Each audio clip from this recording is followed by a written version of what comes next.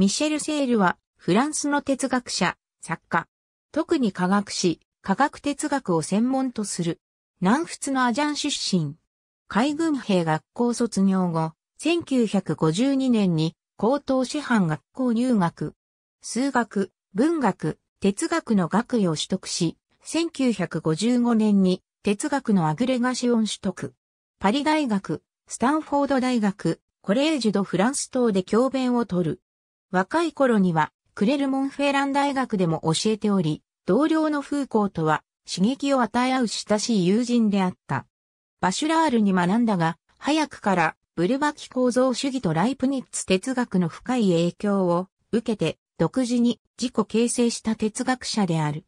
人文学、自然科学の双方にまたがる非常に幅広い学問領野に通行し、現代の百科全書派と呼ばれる。その著作は、フランスの私的三文の一つの達成を示す、高度に美的かつ深遠なものであるが、飛躍が多く理解しがたい面も持つ。ポール・リクールと並び、1990年代以降、フランスで最も再評価された思想家の一人である。イリア・プリゴジンらの自然科学者にも強い影響を与える。1985年、メディシス賞エッセイ部門受賞。2013年ダン・デイビッド賞受賞。1990年からアカデミー・フランセーズ会員。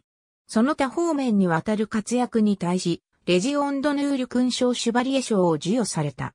ありがとうございます。